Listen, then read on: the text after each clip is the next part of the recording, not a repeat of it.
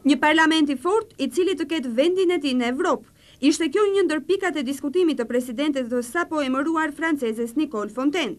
Më tej, ajo ka kërkuar nga të gjithë anëtarët e Parlamentit Europian që të punojnë për rikthimin e besimit të qytetarëve të kontinentit plak, të cilët e shohin parlamentin e tyre thjesht si një mekanizëm burokratik. Janë liruar sot në mëngjes të njëzet e dy anëtarët e burgosur të Partisë Baske. Një veprim ky që tregon se dhe ekstremi bask por dhe qeveria spanjolle po përpiqen të gjejnë një të përbashkët në politikën e tyre të ardhshme. Të njëzet e dy ish të burgosurit të mbiquajtur vitrina politike e ETA-s janë tashmë të lirë pas njëzet muajsh burg për bashkëpunim me bandat e armatosura.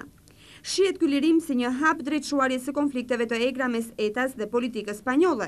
Vetëm pak muaj më parë u vra një i ri këshilltar komunar, për vrasjen e të cilit e tërë Spanja ka protestuar, ndal terrorizmit! Bertie Ahern, kryeministri irlandez, është takuar sot me Tony Blair duke i parashtruar të gjitha pikat të cilat kanë qenë pengesë për krijimin e qeverisë irlandeze. Në prani dhe të senatorit amerikan George Mitchell, Blair ka deklaruar se janë rishikuar të gjitha pikat e marrëveshjes së paraqitur para spektrit politik të Irlandës. Gushti do të jetë periudhë reflektimi për politikën irlandeze, ndërsa fillimi i shtatorit do të jetë prova e dytë për krijimin e ekzekutivit. Ende i hapur konflikti i unionistëve, të cilët nuk ulen në qeverisje pa u dorëzuar armët nga IRA.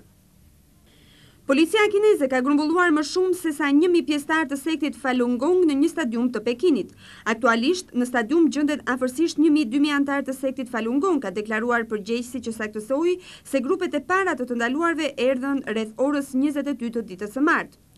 Këtu ka gjithashtu shumë policë, shtoi burimi, duke vënë në dukje se njerëzit e grumbulluar vinin jo vetëm nga Pekini, por gjithashtu dhe nga qytete të tjera kineze.